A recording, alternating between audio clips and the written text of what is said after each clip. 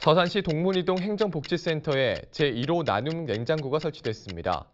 충남 사회복지 공동모금회 연합 모금을 활용해 운영되는 나눔 냉장고는 이웃과 나눔을 원하는 주민이 식재료 등을 냉장고에 채워 넣으면 필요한 만큼 가져가는 방식입니다. 24시간 누구나 이용할 수 있으며 시는 수석동과 음암면, 지곡면에도 추가 설치할 계획입니다.